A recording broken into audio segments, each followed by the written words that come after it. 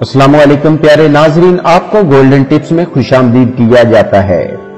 ناظرین، مذاہب کی قدیم کتابوں کے مطابق ابلیس یعنی شیطان، جن تھا اور اللہ تعالیٰ نے اس کی عبادت کے باعث اسے فرشتوں میں شامل کر لیا۔ بعد ازاں اس کی ریاضت کا سلسلہ جاری رہا۔ اس کائنات کا کوئی ایسا چپا، کوئی ایسا ٹکڑا نہیں تھا جس پر ابلیس نے سجدہ نہ کیا ہو۔ یہ ان سجدوں ان ریاضتوں اور ان عبادتوں کا نتیجہ تھا کہ اللہ تعالیٰ نے ابلیس کو فرشتوں کا سردار بنا دیا۔ لیکن پھر شیطان غرور کا شکار ہو گیا اور اس نے مٹی کے پتلے یعنی حضرت سیدنا آدم علیہ السلام کو سجدہ کرنے سے انکار کر دیا۔ اور یہاں سے خیر اور شر کی طاقتوں کے درمیان جنگ کا آغاز ہوا۔ قدیم صحائف میں لکھا ہے کہ جب شیطان کو حضرت آدم علیہ السلام کو سجدہ کرنے کا حکم دیا گیا تو اس نے حضرت آدم علیہ السلام پر حکارت سے تھوک دیا۔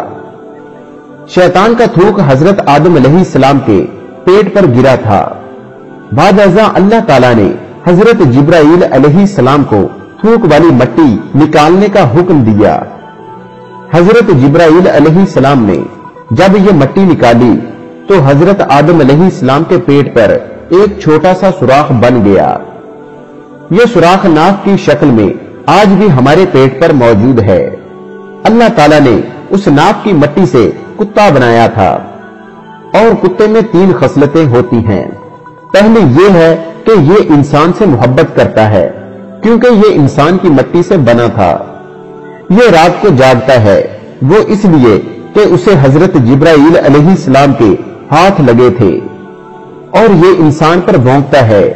وہ اس لیے کہ کتے میں شیطان کا تھوک شامل ہے۔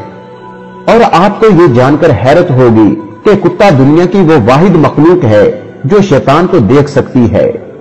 شاید یہی وجہ ہے کہ رات کے اندھیرے میں جب شیطانوں کے قافلے کتے دیکھتے ہیں تو وہ خوفناک آوازیں نکالتے ہیں۔ اس ویڈیو کے بارے میں اپنی قیمتی رائے بذریعہ کامنٹ ضرور دیجیے اگر ویڈیو پسند آئے تو لائک کیجیے اور اپنے دوستوں سے شیئر کیجیے کیونکہ اچھی بات کو شیئر کرنا بھی صدقہ جاریہ ہے۔ یہ ویڈیو دیکھنے کا بہت شکریہ۔ ملتے ہیں کسی اچھے واقعہ کے ساتھ۔ تب تک کے لیے اللہ حافظ۔